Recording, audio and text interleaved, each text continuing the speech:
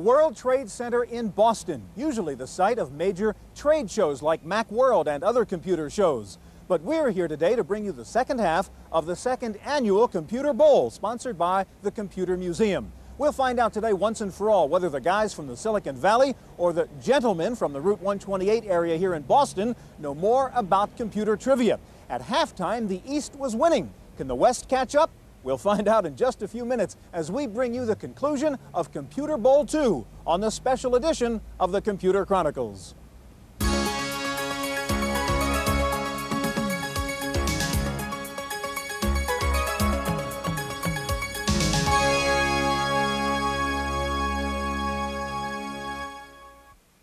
The Computer Chronicles is made possible in part by the Software Publishers Association, which reminds you that software piracy is a federal offense. When a few people steal software, everyone loses. Additional funding is provided by CompuServe, by PC Connection and Mac Connection, by Byte Magazine and Bix, the Byte Information Exchange, and by Intel Corporation, Personal Computer Enhancement.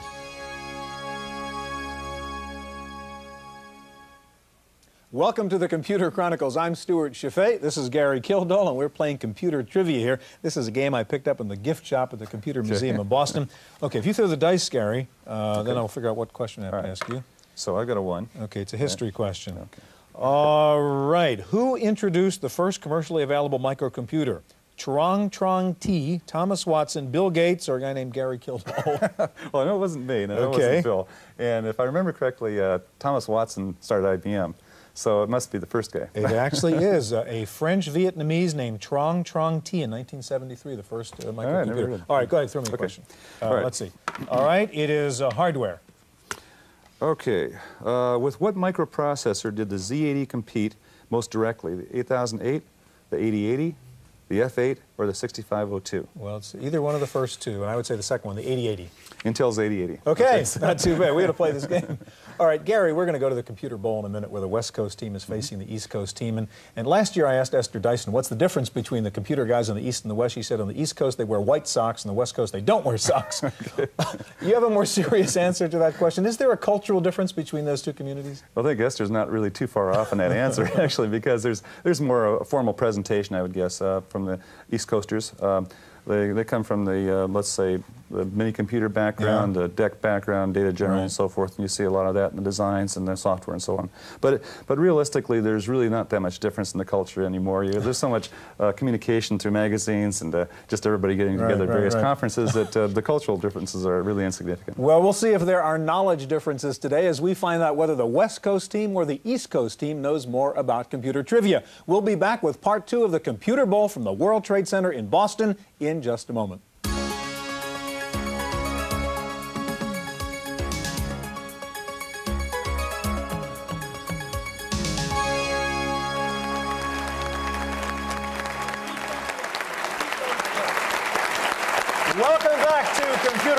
2, presented by the Computer Museum. We're here at the Boston World Trade Center. We've played two rounds so far, and the score is the East Coast 120, the West Coast 110. Let me explain. Something happened during the break. Our judges made a decision that the West Coast did answer correctly that question about the three companies in which the uh, CEOs had moved, and Adam Osborne was accepted as a correct answer. We adjusted the score, so it is now 110 for the West, 120 for the East. Now, for those of you who are just joining us and didn't see the first part of this program, let me reintroduce our expert panelists. For the defending champion East Coast team, William Foster of Stratus Computer, Robert Frankston of Lotus Development Corporation, Mr. Pat McGovern of IDG, Edward Fredkin from Boston University, and Russell Planitzer from Prime Computer. Our challengers from the West Coast, West Coast Stewart Alsop II, publisher of PC Letter, Bill Gates of Microsoft. Come on, let's cheer for these West Coast guys, too. The captain of the West Coast team, venture capitalist John Doerr, Lawrence Tesler from Apple, and Charles House from Hewlett Packard. Our judges again are Bill Poduska of Stardent Computer and Bill Joy of Sun Microsystems. Our examiner, the bad boy of Computer Bowl One, Mitch Kapor of On Technology. All right, 120 to 110, a very close game. Mitch, let's get back to the questions. For 10 points, in 1968, the New York Stock Exchange listed its first computer software company. What was the name of that? All right, East Coast McGovern. Cullinet. That is not correct. You answered too soon. We can it. repeat the question. 20 points for the West if you get it. In 1968, the New York Stock Exchange listed its first computer software company. What was the name of that company? Please buzz and let me recognize who's going to answer this one. This is not consulting. Stewart Alsop. Cullinane Systems. That's not correct. The answer, Computer Sciences Corporation. Next question, Mitch. According to the Illustrated Handbook of Desktop Publishing, what is the opposite of letter spacing? West Coast, Larry Tesler. Word spacing. East Coast. Frankston. Kerning. Kerning is correct. 10 points for the East.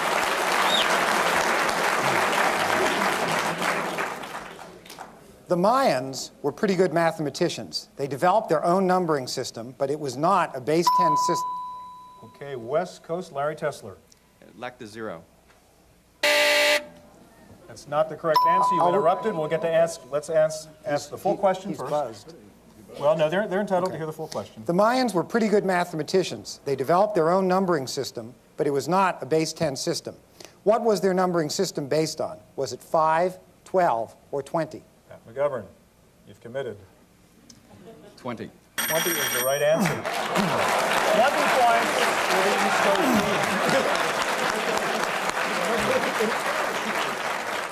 team. Here we go. According to Electronic Learning magazine, as of 1988, which of the following states required public school children to take at least one computer course before graduating from high school? Texas, Massachusetts, or California? All right, East Coast Frankston. Texas. Texas is correct.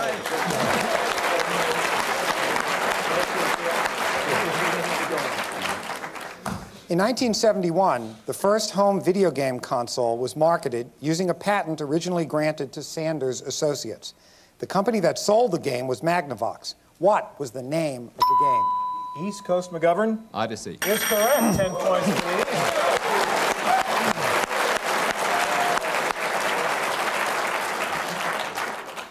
At the 1939 New York World's Fair, the Westinghouse Pavilion featured a robot that could do housework. What was the name of that robot?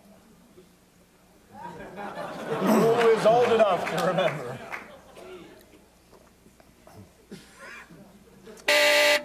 Time is up. The answer, Electro. Texas Instruments developed the first popular microcomputer-based toy. What was it called? We have West Coast Larry Tesler. Speak and spell. Is correct for 10 points.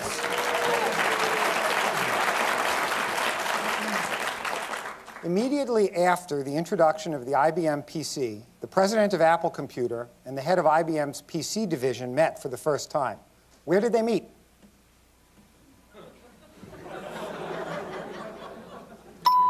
Who's got an answer? West Coast Stewart Alsop? At a Boston Computer Society. Absolutely right. 10 points.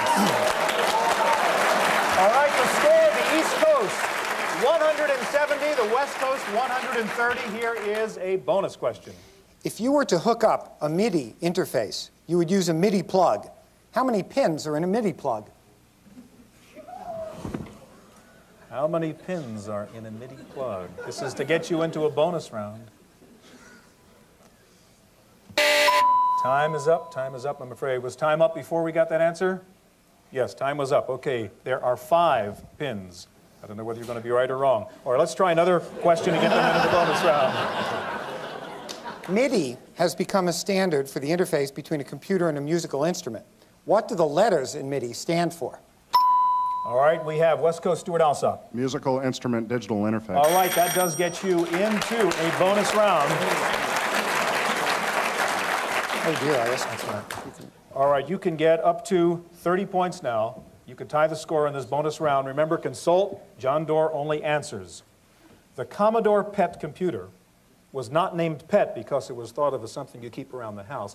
PET is an acronym. What do the letters PET stand for? Personal Electronic Transactor. Absolutely right, 10 points. Okay.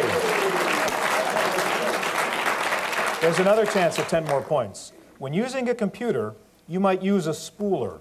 The word spool is an acronym. What do the letters stand for? Not so easy. I'm going to pop into this for a third bonus. Since I need one. All right, we are going to need an answer for 10 points. Yes. Spool. S P O O L. Time out. Printer output listing. Afraid not. Afraid not. Simultaneous peripheral operations online. You've got one more shot now, one more bonus round question for you. Who came up with that standard? All right, one more chance to get 10 points now and get close. The computer language Ada was named after a person. Who was it named after?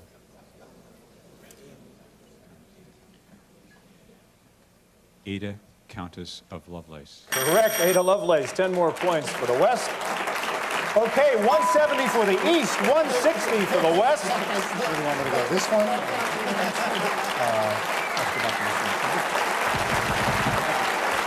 All right.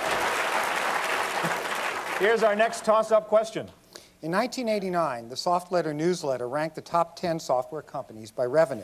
The top five were Microsoft, Lotus, Ashton Tate, WordPerfect, and Autodesk. Can you name at least four of the other five companies on the list? All right, we have an offer from Stewart Alsop, West Coast.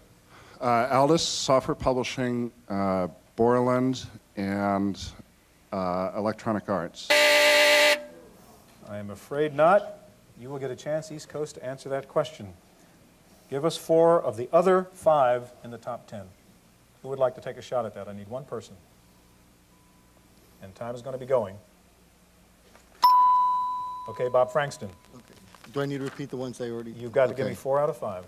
Okay, Symantec, Borland,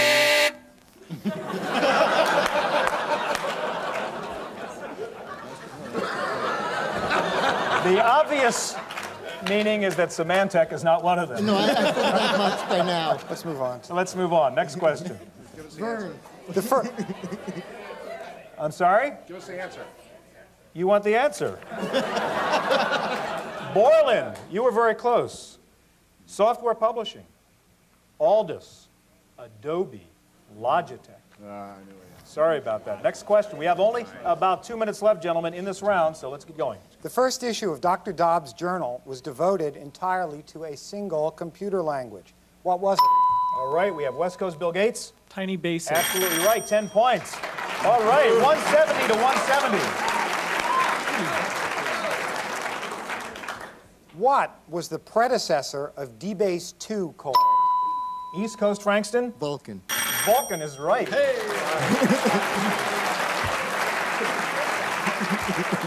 All right, 180 for the East, 170 for the West. Here is a big bonus question coming up. 1990 is the 100th anniversary of the U.S. Census. What famous computer pioneer We have East Coast Foster. Herman Hollerith. Absolutely right. Okay, here we go. We just have enough time left for this bonus round. Remember, consult. Captain answers only. You can get up to 30 points. I will ask you this question 10 points apiece for the right answer. At least three software companies have renamed themselves after the name of their leading products. For 10 points apiece, can you name these three companies, giving me the old name and the new name?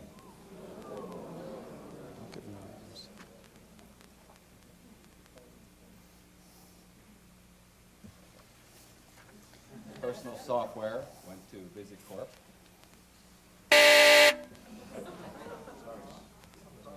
That's the end of that. They, You have to get- they get they're 10 points each. You yes, have two more, yes, two yes. more all right. That, tries. one- that one was wrong, but you get two more tries. Oh, two more tries. This is a bonus round. And Micro Pro went to WordStar. All right, that's one correct. That's 10 points. There's one more. Quickly. And uh, Cullinane uh, went to uh, Cullinet. That is not correct. I'm sorry. Okay, let's take a look at the score. The East Coast has 200. The West Coast has 170. This is the end of round three. We'll be back in just a minute.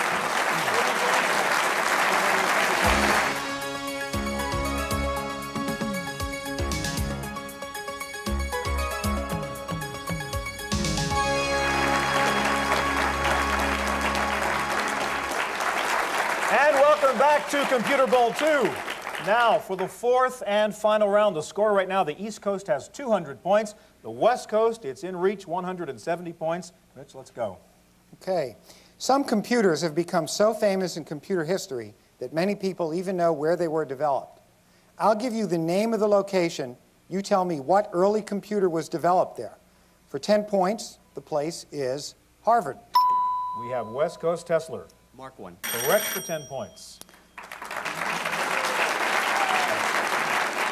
Another toss-up question for both teams. The place is Iowa State College. We have Bill Gates on the West Coast team. Atanasoff-Berry Computer. Absolutely right. Another 10 points for the West. The place was the Moore School in Philadelphia. East Coast McGovern. ENIAC. Correct.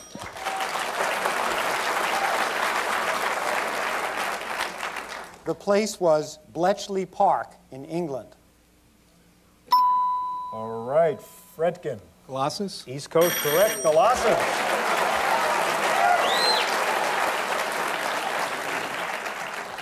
And finally, the place was the University of Illinois.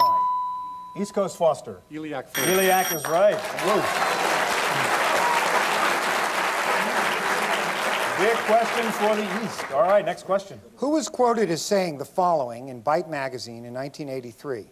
I wasn't thrilled with the placement of those keys, but every place you pick to put them is not a good place for somebody. The left-hand shift key is where it is because we wanted to have the character typing keys inside the control keys. Was it Steve Jobs, Don Estridge, or Rod Canion?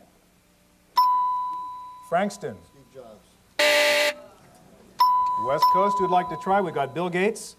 Don Estridge. Don Estridge is right. 10 points for the West.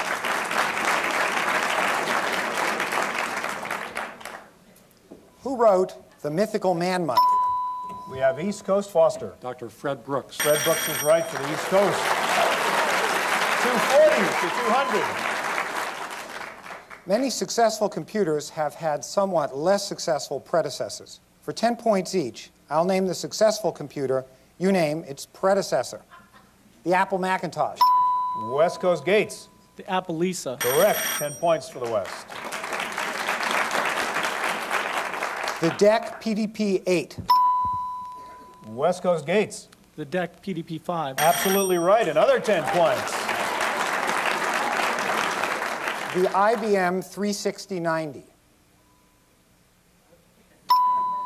Frankston, East Coast. 1691. The answer is the IBM Stretch. Well, that balances out the two uh, times right. that we did that. We- we- Well, that makes up for the one we did. exactly. One mistake on either side. Now we're even. Okay, here is a bonus question. This is like instant replay in football, you know. All right, East 240, West 220. Here is a bonus question that will get you into a very important bonus round. Okay. The term desktop publishing is now commonly used to describe the creation of high-quality print documents on a desktop computer. Who first West Coast Doerr. Paul Brainerd. Absolutely right. All right, guys, you are 10 points behind. 240 for the East, 230 for the West. You can get up to 30 points in this bonus round. Captain only. Consult. No buzz. All right, listen. Most of us have heard the story of why we call something that interferes with the proper operation of a computer a bug. Can you tell us what computer pioneer discovered that real bug? The unanimous opinion is Grace Hopper. 10 points. Can you tell us, for another 10 points, what kind of bug it was? A moth. Another 10 points for the West. Last part of the bonus round for another 10 points. In what computer did she find the moth? We think it was the ENIAC. Afraid not. It was the Harvard Mark II. Well, you got 20 points. Okay, the West Coast ahead now, 250. The East Coast, 240. Look at East Coast. All right, just a few minutes left, guys. Here we go. Another toss-up question for either team. What company owns CompuServe? East Coast, Frankston. HR Block. Correct. 250. 250. Here we go. The Kansas City Standard was developed as a standard. West Coast Doerr. The Tarbell tape standard. I'll repeat the question. The Kansas City Standard was developed as a standard for what storage medium? Frankston. Cassette tape. Cassette tape is correct. 270, 250. An interlaced raster scan display monitor creates a picture by interlacing odd lines and then even lines. If the full interlaced picture is called a raster, what do you call one half? West Coast Tesler. A frame.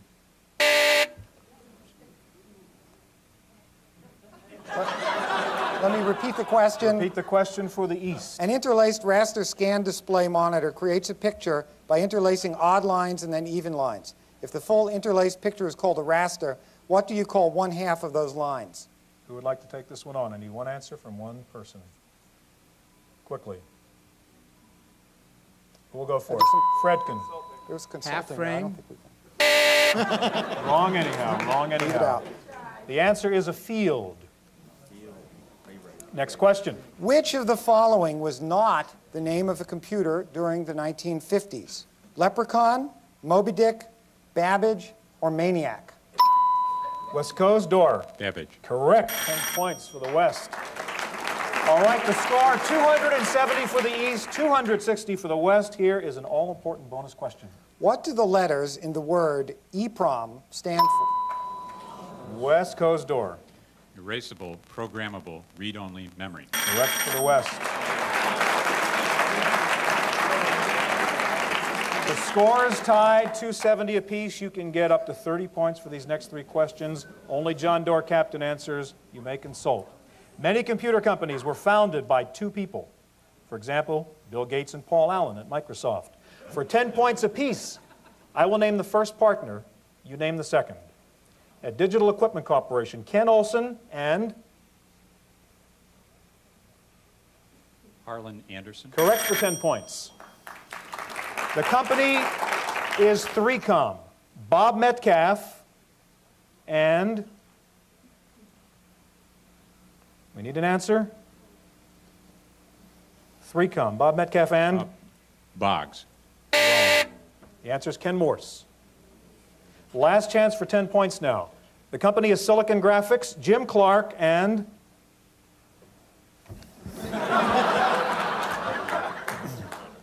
we need an answer. Time is up. I'm afraid the answer was Ed McCracken. All right, you got 10. He was not a founder. Wrong, wrong. He was not a founder. Let's go to the judges. He was hired. Wrong. Wrong answer. He didn't, he didn't answer the question, but Ed McCracken was not a co-founder. Okay, so our answer is wrong. Your answer is wrong. We'll move on to the next question. Here's a toss-up question for either side. Computer pioneer Charles Babbage was a close friend of a famous British author who allegedly patterned, patterned a character in one of his novels after Babbage. Was the author Sir Walter Scott, John Galsworthy, or Charles Dickens? Bill Gates, West Coast. Charles Dickens. Charles Dickens is right. We only have one minute left. Let's get moving. Was the 68,000 instruction set modeled after that of the IBM 360? The data. West Coast Doerr. The DEC VAX. Repeat the entire question. Repeat the question. For Was the 68,000 instruction set modeled after that of the IBM 360, the Data General Nova, or the PDP 11? Yes, McGovern? PDP 11. That's correct. It's 20 points. We are out of time. We have one question left now. All right. Yes, this is sudden death, 290 to 290. We only have time for one more question. This is it, folks. This is it, folks. The judges agree. This is Here it. we go. This is it. The original computer game Adventure featured a colossal cave and a maze of twisty little passages. These and other memorable locations in the game were inspired by actual cave formations in what state? Was it California, Tennessee, or Alaska? All right, Larry Tesler, West Tennessee. Coast. Tennessee. Tennessee is correct. That is the end of Computer Bowl 2. The winner, the West Coast 300. Very cool. The 290, John Doerr gets the bowl. Thank you all very much for being here. We'll see you all again next year.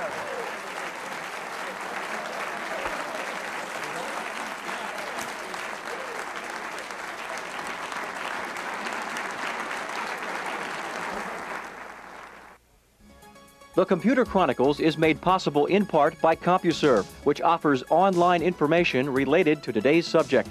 Members type Go Chronicles. Non-members call for more information. Additional funding is provided by the Software Publishers Association, by PC Connection and Mac Connection, by Byte Magazine and BIX, the Byte Information Exchange, and by Intel Corporation, Personal Computer Enhancement. For a transcript of this week's Computer Chronicles, send $4 to PTV Publications, Post Office Box 701, Kent, Ohio 44240. Please indicate program date.